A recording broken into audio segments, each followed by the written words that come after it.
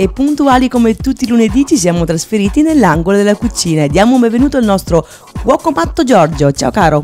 Ciao Serena.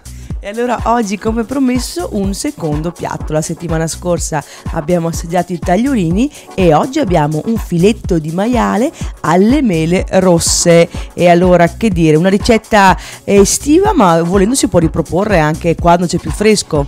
Sì, è anche molto semplice, cioè è una ricetta semplice, all'ultimo minuto se vengono ospiti non è nessun problema, perché sarà anche un brodo particolare per fare queste ricette. E allora attenzione che diciamo subito gli ingredienti. Serve un filetto di maiale circa 500 grammi, serve dell'aglio, della farina, una mela rossa, olio, pepe, una crema di aceto di mele e il brodo vegetale. Il prezzo è circa 10,20 euro per 4 persone. Diciamo subito Giorgio, questo brodo vegetale come l'hai fatto?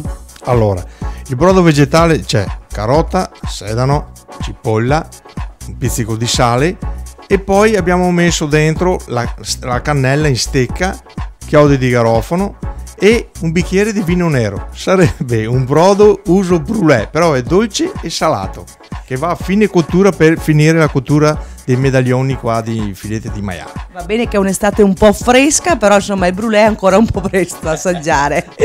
Bene, allora partiamo subito con il procedimento. Abbiamo messo nella nostra padella antiaderente un po' di olio e l'aglio. Abbiamo impanato i nostri medaglioni con la farina e li abbiamo adagiati in padella. Per quanti minuti Giorgio?